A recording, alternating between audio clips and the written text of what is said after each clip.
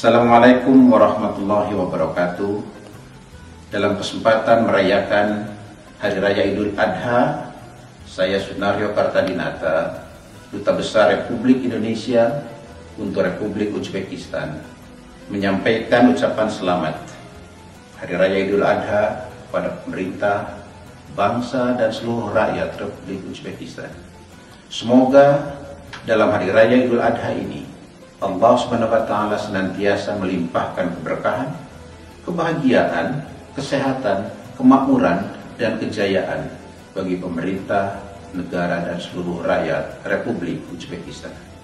Saya pun berharap kiranya kedua negara, Indonesia dan Uzbekistan, senantiasa meningkatkan hubungan dan persaudaraan yang saling menguntungkan dan memenuhi kebutuhan kedua belah pihak. Terima kasih, rahmat. Wassalamualaikum warahmatullahi wabarakatuh.